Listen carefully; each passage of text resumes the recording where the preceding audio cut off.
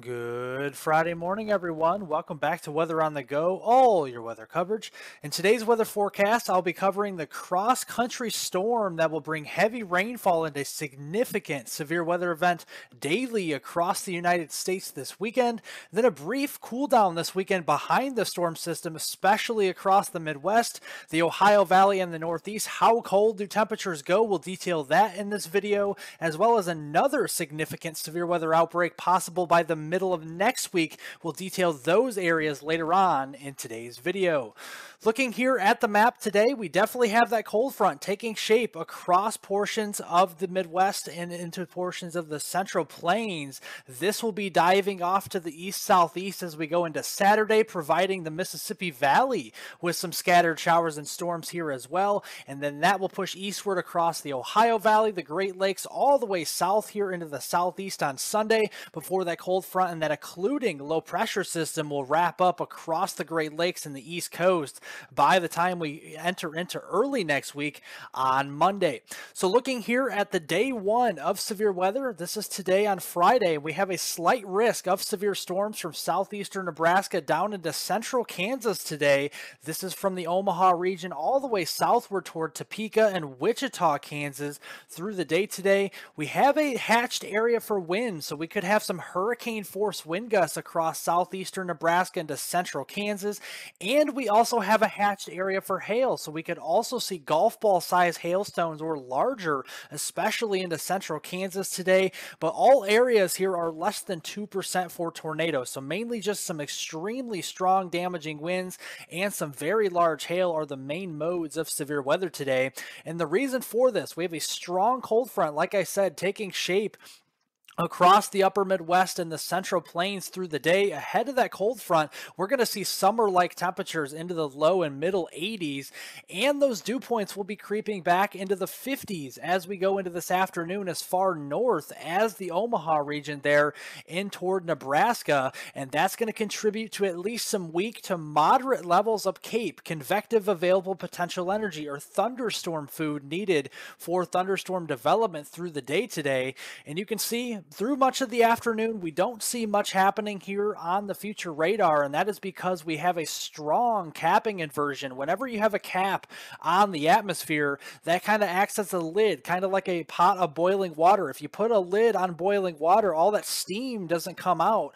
But as we go through the evening hours, that cap will start to break and erode with the arrival of that strong cold front, and that means some supercell thunderstorms will be breaking out as we go into early this evening around 7 o'clock across southeastern Nebraska through central Kansas, perhaps as far south and west as northwestern Oklahoma here. And they'll really start to billow up through the late evening hours around 10 o'clock. The Omaha region down toward Wichita could get a little bumpy through this evening hours with some hurricane force wind gusts and some very large hail over golf ball size. And then this will kind of turn into more of a heavy rain threat as we get into after midnight as it pushes into western Iowa toward the Kansas City region. So definitely watch out for that after midnight tonight. And then this will really start to fall apart by sunrise on Saturday. But then as we go into Saturday, this system will start to strengthen ever so slightly. We got a nice dip in the jet stream here across the Missouri Missouri Valley and on the uh, the right side of this system, we're going to have enough energy for another significant severe weather outbreak here on Saturday, tomorrow. We have an enhanced risk, a level 3 of 5 down here in southern Missouri, central portions of Arkansas, including the Little Rock region and all the way south just outside of the Shreveport area in towards northern Louisiana with a slight risk in the yellow here, including the St. Louis area, getting down into Memphis, Tennessee, the Jackson, Mississippi region region and then as far south as Baton Rouge, and that actually extends into East Texas as well. And then a marginal risk, even in the dark green, extends up into northern Illinois, eastern Iowa, even into southwest Wisconsin on Saturday for some severe weather. We do have the threat for 60 to 70 mile per hour wind gusts, especially in these yellow and red shaded colors across the lower Missouri Valley down into the Arklatex, but we also have to watch out for some large hail as well in this hatched area for hail. We could be seeing golf ball size hailstones or larger, and we have a threat for a few tornadoes, especially around the Little Rock region down uh, through portions of the lower Mississippi Valley into western Mississippi and northeastern Louisiana on Saturday.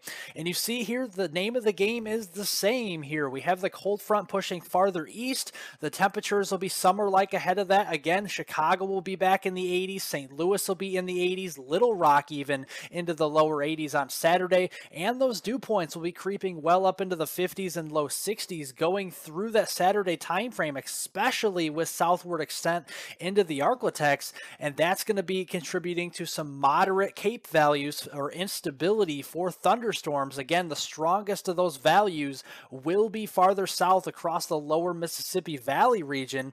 So going through the afternoon on Saturday, not too much happening through much of the morning hours or early afternoon, but it's really by mid to late afternoon, three, four, five o'clock, as we go into Saturday late afternoon time frame We'll start to fire up some scattered supercell thunderstorms along that cold front here across the Arklatex and the Missouri Valley. Those will become more numerous with a massive squall line extending from eastern Iowa, western Illinois, down through Missouri there into the St. Louis area, farther south into Little Rock here. And the southern side of the squall line will be the most intense as it taps into some of the stronger instability that will march its way eastward across the Mississippi Valley here from southern Illinois, western Kentucky into western Tennessee, getting into central Mississippi there, and even southeastern Louisiana after midnight on Sunday. And again, some of these storms, even after midnight, could be holding strong with some damaging winds, large hail, and perhaps even some embedded tornadoes as well. And then as we go into Sunday, this trough takes a negative tilt, and as the system really starts to wrap up, we're going to have a lot of wind shear starting to wrap up around the base of this trough with the 500 millibar our mid-level jet stream really taking off on Sunday. So we have a marginal, it's a slight risk of severe weather even on Sunday here from the eastern Ohio Valley down through portions of the East Coast and even a higher chance of severe weather in the yellow across south central Georgia into western portions of South Carolina as well. And you see again the same thing here. Temperatures will be back into the 70s ahead of the front, but look at the temperatures behind the system as it really wraps up on Sunday, we'll be back down to the 30s and 40s across the western Great Lakes and the upper Midwest on Sunday afternoon. But it's ahead of that cold front. The temperatures will be back into the 50s and 60s for those dew points, and that's going to contribute to at least some modest Cape values or instability for Sunday afternoon. So we have that squall line that's going to continue through much of the morning hours on Sunday. That will be marching its way eastward and re intensifying across the eastern Ohio Valley the eastern Tennessee Valley down into the southeast on Sunday afternoon, and then that will pu- uh, push farther to the east through Sunday evening. But you do notice, uh, like I said, the colder temperatures on the backside of the system will be cold enough for some wet snowflakes and even a mix of rain and snow back here into southern Wisconsin, Iowa, getting into portions of northern and central Illinois here into Sunday evening and that could contribute to maybe a couple inches worth of snow. Now, I do think the NAM model is a little bit too aggressive with the snowfall amounts, especially in the United States here across Wisconsin, Minnesota, Iowa, and Illinois. So I do think a dusting up to two inches could be possible across portions of the UP of Michigan, especially the western UP of Michigan, down through much of Wisconsin, eastern portions there of Minnesota, including the Twin Cities region, Rochester, Minnesota, getting down into Iowa Iowa here, and then portions of far northern Illinois near the Illinois Wisconsin state line. Dusting to two inches will be possible Sunday night into Monday morning across those areas. Maybe just enough to shovel in some localized spots. That will definitely be something to watch out for. But this rainfall will be moving in as well. So we have some heavy rainfall with this system, not just the snow on the backside. This will be dumping some heavy rain across especially the upper Midwest and the Great Lakes regions. These areas could be seeing upwards of an inch of rain and then all the way down the Mississippi Valley to the Gulf Coast here we could be talking about over an inch of rain through the Little Rock region, getting down into New Orleans, maybe a couple more inches of rain for you through Monday morning. And that could contribute to some flash flooding concerns, especially this weekend. Most of the rainfall will be falling Saturday into Sunday from the mid Mississippi Valley down into the lower Mississippi Valley region. So places like St. Louis, Little Rock, Memphis, down here into portions of Jackson, Mississippi, New Orleans, Shreveport. Just watch out for some flash flooding potential this weekend.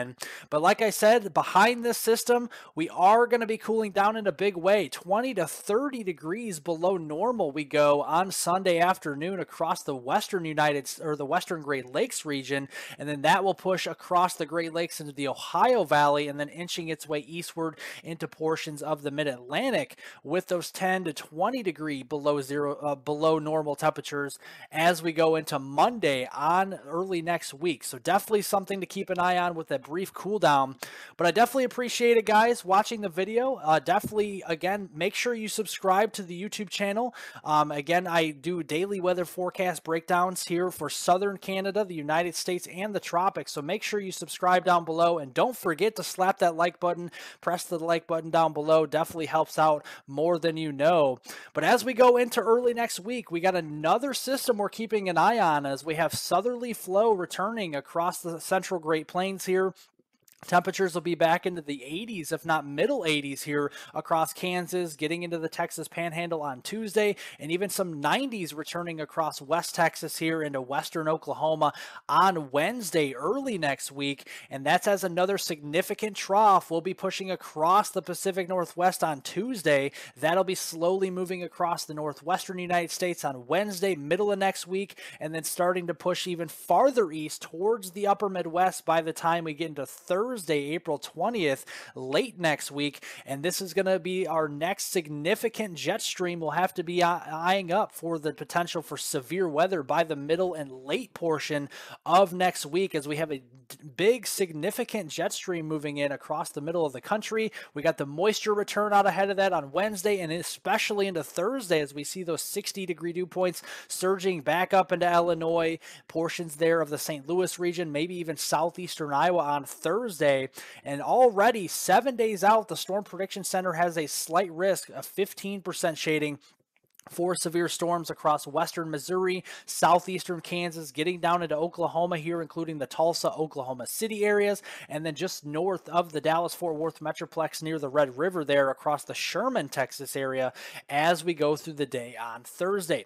And you can see with that cold front on Thursday, the trend is late afternoon and early evening hours. We could be seeing some scattered supercells capable of all severe hazards, including isolated tornadoes. We definitely will be keeping an eye on this and possibly a snowstorm again toward the middle of April here, late next week, across the Twin Cities region into northern Wisconsin, the UP of Michigan, and that could extend farther west into the eastern Dakotas as well. Too early to know how much snow could fall with this, but definitely something to keep an eye on over the next few days. Well, if you don't follow me on Twitter, make sure you follow me on Twitter for additional weather forecast updates. It's down below in the description. Click on it and follow me. It's HWeather420. Definitely much appreciated. And thank you all for watching the video today. Again, much appreciated. Remember to like the video, give me a thumbs up down below.